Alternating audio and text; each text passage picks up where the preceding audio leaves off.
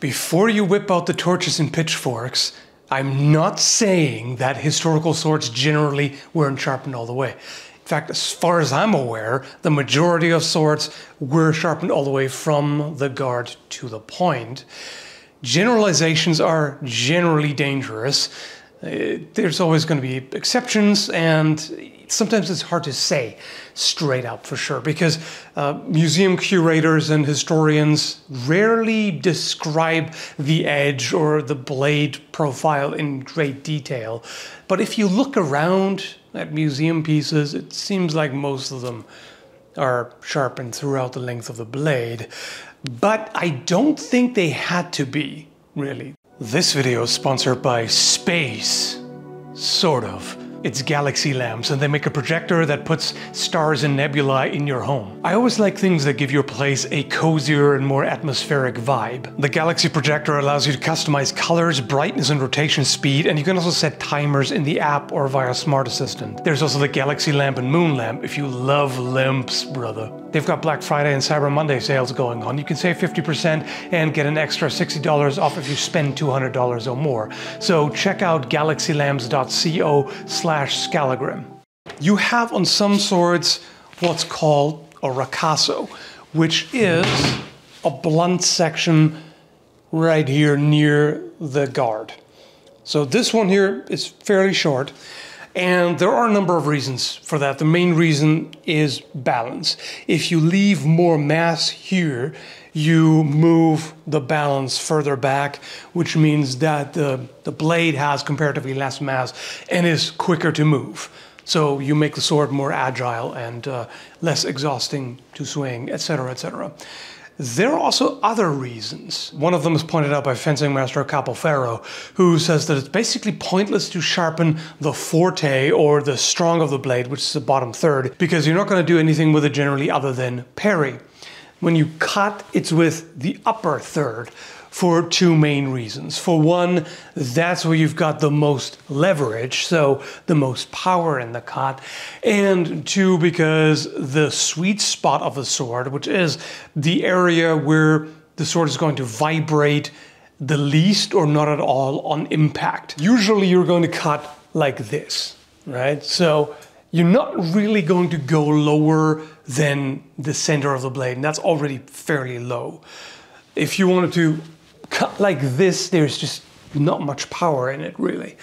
There are situations where you could use the bottom third, which is if you're slicing.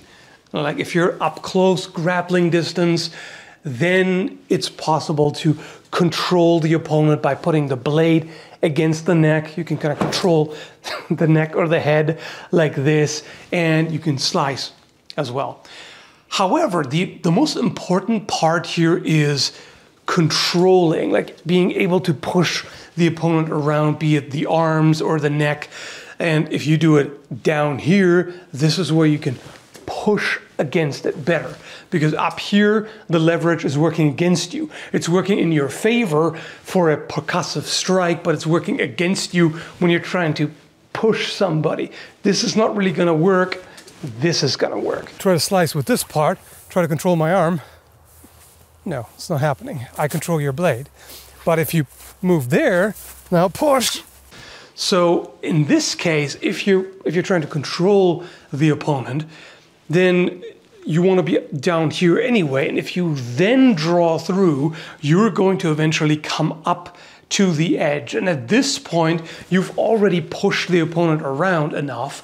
And at that point, you can start slicing. Alternatively, a slice can be done in a push cut where you start at the top of the blade and push down toward the bottom where you get more control. Or just use the other hand for support.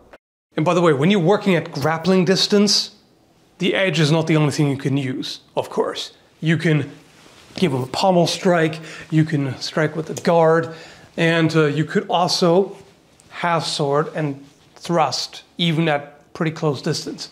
And you can strike with the flat, there's a bunch of things you can do. And depending on the technique, you can shorten your reach in such a way that you can still cut with the upper part of the blade. So you don't absolutely need it to be sharp down here. And in fact, there are arguments to be made against sharpening the blade down here. Again, keep in mind, most of the time they did.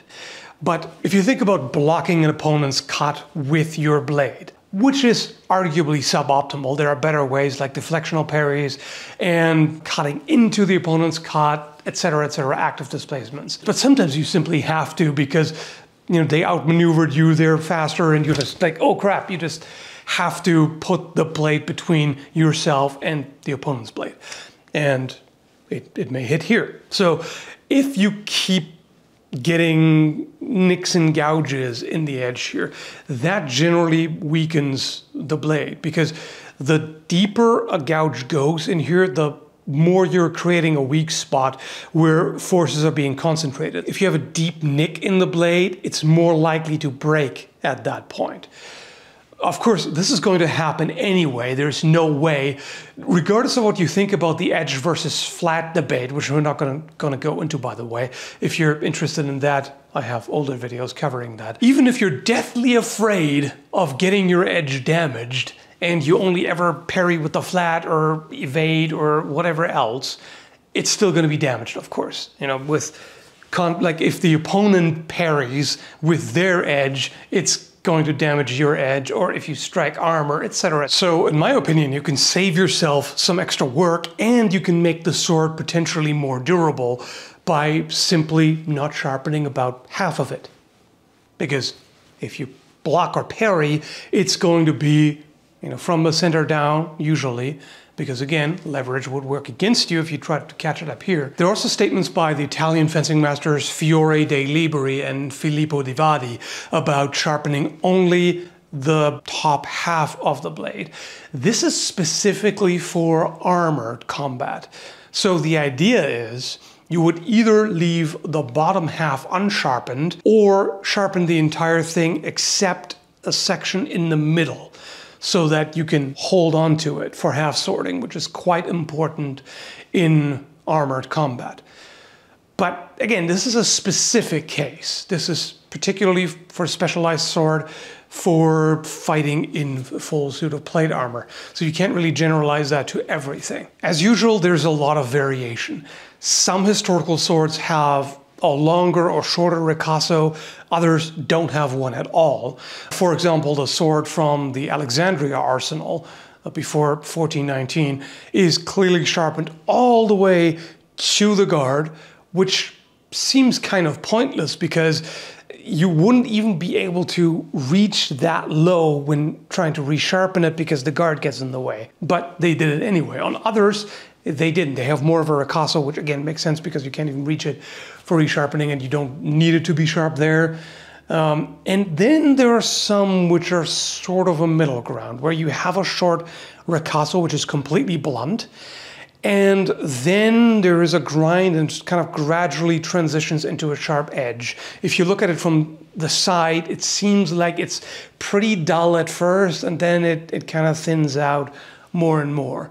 And that seems like a good way to go about it, where you give the entire blade the general profile grind, and you just don't spend as much time on sharpening near the guard. However, there are some types of sword or knife, if you will, where you do absolutely want the blade to be sharp along the entire length, like this Messer right here, or a Bauernwehr, which is not just a weapon but also a tool, a long knife.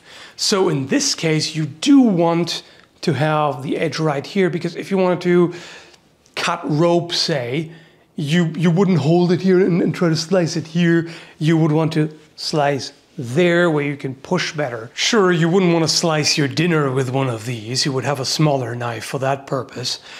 But there are plenty of everyday tasks where you would use this much like a machete and sometimes you may want to, you know, whittle or carve something that's a little bit larger where you want a heftier blade. And in this case, yeah, absolutely, do go all the way. It seems that partial sharpening of the blade became more common from the Renaissance onward. And you see that particularly in the, say, 18th and 19th century, where sometimes it's specifically mentioned that a saber is only sharpened halfway down the blade. Why they didn't do that much or at all in earlier time periods, Who knows? Maybe they just didn't think of it. Maybe it was just a matter of, well, I'm going to grind this blade. Well, I'm already doing it. I'm already grinding it. I might as well go all the way. Like this could, in some cases, could be as simple as that. Or maybe they did find it important to have the bottom of the blade sharpened in order to use a slice in combat rather than other options. Hard to say, and there might have been different opinions about it back in history as well. But this is my opinion. Let me know what you think.